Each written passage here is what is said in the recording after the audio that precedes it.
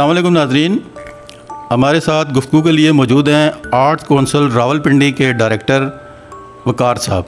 और इनसे art council के हवाले से पूछते हैं। जी वकार साहब अलैक्म वकार साहब सबसे पहले तो ये बताएँ कि आर्ट्स कौंसल कोरोना वायरस से किस हद तक मुतासर? बिसमीम मेरा ख्याल है कोरोना वायरस से सिर्फ़ आर्ट्स काउंसिल ही नहीं मुतासर हुई पूरी दुनिया के तमाम इदारे पूरी दुनिया की मीशत इससे मुतासर हुई है।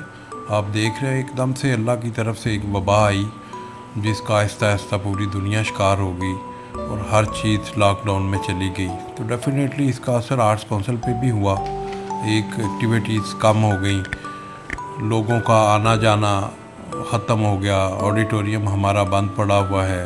ज़ाहिर है उसके से भी जो हमारी इनकम थी, उसमें भी काफ़ी हद तक कमी आई। बंद होने की वजह से। तो इकदाम किए गए हैं जो कोरोना वायरस से मुतासर हुए हैं। हुकूमत पंजाब इस सिलसिले में काफ़ी अपना काम कर रही हैं कि हम हुकूमत पंजाब ने एक आर्टिस्ट स्पोर्ट्स फंड बनाया हुआ था अपने फ़नकारों के लिए जो पूरे पंजाब से था। तो उसमें पर मंथ इनको आते थे तो अभी उन्होंने यक मुश्ती पूरे के पूरे पैसे इनको बैंक ऑफ़ पंजाब में दे दिए। वो किसी भी ब्रांच में जाके बैंक ऑफ़ पंजाब से उन पैसों को वो वसूल कर रहे हैं। उसमें हमारे पिंडी से तकरीबन 125 के करीब आर्टिस्ट हैं जो उससे मुस्तफ़ हो रहे हैं। इसके अलावा जो कोरोना वायरस की वजह से मुतासर हुए लोग, वो आर्टिस्ट जो जूनियर हैं, ये तो सीनियर लोग थे इसमें शामिल। जूनियर लोग, वो ज़ाहिर ऐसे लोग हैं जो ये भी एक तरह से डेली वेजर ही हैं। काम मिला, कर लिया। मुमकिन है एक दिन, चार दिन, हफ़्ता ना मिला। तो उनके लिए भी, अभी सीएम साहब ने एक अनाउंस किया है कि उनके लिए भी वो एक स्पेशल ग्रांट दे रहे हैं। तो उसमें हमने भी अपनी लिस्टें बना के इनकी दे दी हैं पंजाब गवर्नमेंट को। भी इसी तरह उनको पैसे रिलीज़ हो जाएँगे। तो एक अच्छे तरीके से उनको एक ग्रांट मिलेगी। तो इन अच्छा हो जाएगा। वो हुकूमती सतह पर सबसे पहले तो मैं अपनी आवाम को सलाम पेश करूँगा कि इन्होंने पहली दफ़ा अपनी हुकूमत की बात मानी है। मान के ये लोग घरों पे रहे हैं और इन्होंने महदूद लॉकअप पर हम कहते हैं, एक महदूद हद तक रहे हैं तो लॉकडाउन में। तो इससे ये फ़ायदा हुआ कि हमारा, दुनिया की नस्बत, हम लोग ज़रा कम मुतासर हुए हैं। बाकी ये जो आर्टिस्टों के लिए गवर्नमेंट ने किया है गवर्नमेंट पूरे पाकिस्तान के लिए, पूरे सब लोगों के लिए एहसास प्रोग्राम है, ये हर तरह से हो रहा है। और स्पेशली मैं कहूँगा, हम मशहूर हैं वज़ी अल पंजाब के, जिन्होंने जो आर्टिस्टों का फ़नकारों का जो सपोर्ट फंड था वो उसको उन्होंने पहले भी मिल रहा था, लेकिन इस दफ़ा उन्होंने ये किया है कि वो यकमुश्त कुछ पेमेंट आर्टिस्टों को भेज दी है और कुछ ऐसे फ़नकार थे जिनको अभी तक मिल नहीं रहा था, जो जूनियर आर्टिस्ट थे। तो अब ये है कि एक उनके लिए भी पॉलिसी बनी है। मेरा नाम सुलेमान सनी है और मैं रावलपिंडी इस्लामाबाद से मेरा ताल्लुक़ है। और मैं बाईस साल से शोबिस से मुंसलिक हूँ।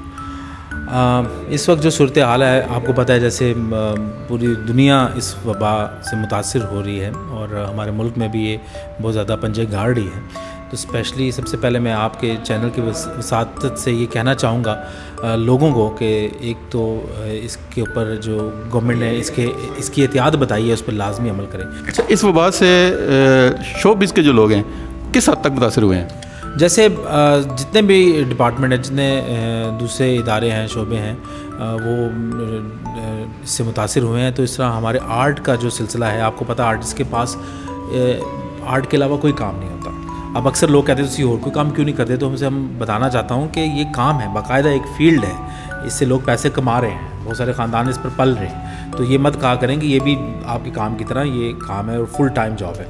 तो ये सिलसिला भी आर्टिस्टों का बहुत मुतासर हुआ। आर्टिस्ट बेचारे थिएटर बंद हैं टेलीविज़न पे रिकॉर्डिंग्स नहीं हो रही फ़िल्म का काम रुक गया है तो वो उनकी ज़िंदियाँ मफलूज होकर रह गई हैं और नाजरीन हमारे साथ मौजूद हैं रावलपिंडी इस्लामाबाद के आर्टिस्ट अंजम मलिक साहब।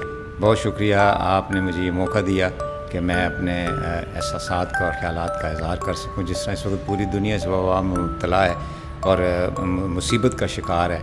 तो इसी तरह हम फ़नकार जो हैं, ये फ़नकार बरदरी हमारी जो है पूरे पाकिस्तान में, वो भी इस, मुसीबत की वजह से, इस वबा की वजह से इस वक्त बड़ी मुसीबत और परेशानी का शिकार है।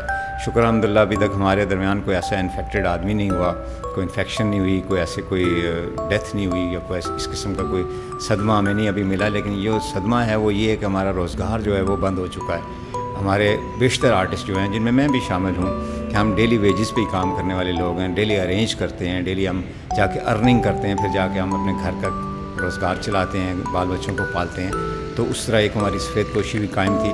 तो इसकी वजह से अब इस वक्त हालात बहुत ख़राब हैं। थिएटर्स बंद हैं फ़िल्म इंडस्ट्री बंद है और टेलीविज़न की रिकॉर्डिंग्स बंद हैं। और बाकी जितने भी सारे हमारे शोबाजात हैं इससे मुंसलिक वो सारे बंद हैं। और कोई उम्मीद नज़र नहीं आ रही कि अगले महीने दो महीने तक या तीन महीने तक ये खुलेंगे। दो महीने से तो बंद है और अगले दो चार महीने भी अगर ये बंद रहते हैं तो फिर आप खुद ही सोच सकते हैं कि भाई हम इन फनकारों का क्या असर होगा और क्या हाल होगा। ए, क्या नाम है आपका? जी मेरा मानी नाम है जी। टीवी आर्टिस्ट हैं या स्टेज के आर्टिस्ट हैं? नाजरीन को ज़रा बताएँ। नहीं जी मैं तो आर्टिस्ट हूँ वैसे मैंने परफॉर्म किया है टीवी में भी और पीएनसीए में भी रेडियो में भी। कितना टाइम हो गया जी मुझे ट्वेंटी ईयर हो चुकी हैं। अभी जो कोरोना वायरस की वबा की सूरत हाल है आपके क्या व्यूज़ हैं?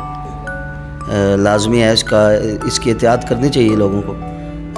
क्योंकि ये एक महदूद नहीं है ये वसी है और सोचना चाहिए महदूद को चलें आप सीरियस ना लें कि एक महदूद है ये वसी है कंट्रीज़ टू कंट्रीज़ इसकी वबा है तो इसमें एहतियात करनी चाहिए। वही तो है जो निज़ाम हस्ती चला रहा है वही खुदा है। निज़ाम हस्ती तो चल रही है पत्थर के अंदर भी कीड़ा कीड़े के साथ कैसा सवाल किया जाएगा उसको भी अल्लाह दे देता है असलम जी ਐਕਟਰ ਕਿਹੜੇ ਮੈਂ ਚਾਚਾ ਘੰਟੀ ਬੋਲ ਰਿਹਾ ਰਿਆਟੋ ਥੀਏਟਰ ਦਾ ਠੇਕੇਦਾਰ ਰਿਆਟੋ ਥੀਏਟਰ ਦਾ ਪ੍ਰੋਡਿਊਸਰ ਹਾਂਜੀ ਪਹਿਲੋ ਐਕਟਰ ਚੰਗਾ ਖਾਂਦੇ ਸੀ ਚੰਗਾ ਪੀਂਦੇ ਸੀ ਐਸਲਾ ਰੋਟੀ ਤੋਂ ਵੀ ਆਵਾਜ਼ਾਰ ਵਿਚਾਰੇ ਹੋਏ ਐਸ ਕਰਕੇ ਉਹਨਾਂ ਵਾਸਤੇ ਕੋਈ ਸੋਚੇ ਹਕੂਮਤ ਦਾ ਕੰਮ ਹੈ ਉਹਨਾਂ ਵਾਸਤੇ ਕੋਈ ਸੋਚਣਾ ਕੋਈ ਖਿਆਲ ਬਹੁਤ ਸ਼ੁਕਰੀਆ